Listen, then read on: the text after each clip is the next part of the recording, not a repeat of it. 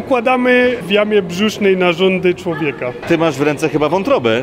Tak, bardzo fajnie jest, naprawdę. Super emocje i można się czegoś niesamowitego dowiedzieć. Mam wrażenie, że każdy powinien tutaj przybyć, żeby się czegoś nauczyć. Nieczęsto zdarza się, że coś takiego przyjeżdża do nas. Z reguły my musimy gdzieś jeździć, a tutaj jest fajnie na miejscu.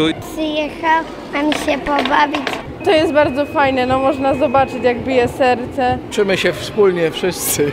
jest bardzo interesujące. Pani nam to podpowiedziała jak. Dla dzieci jest to wspaniała e, rozrywka, no i edukacja zarazem. No coś wspaniałego, no, a nawet i dorośli czegoś się dowiedzą. Chodzi o to, żeby po prostu swobodnie eksperymentować, żeby otworzyć się na to, żeby samodzielnie dotknąć się eksperymentowania, dotknąć nauki. Myślę, że jest przyjemna, kiedy możemy wykonać ją własnoręcznie. Kiedy możemy nie tylko zobaczyć, ale przekonać się na własnych rękach, własnych oczach, że to jest coś, co jesteśmy w stanie zrobić sami. Jesteśmy w stanie się z tym zmierzyć. To nie jest tylko trudny wzór, który trzeba wyprowadzić, ale coś, co y, byliśmy w stanie zobaczyć i wykonać.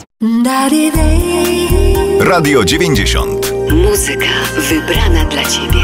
www.radio90.pl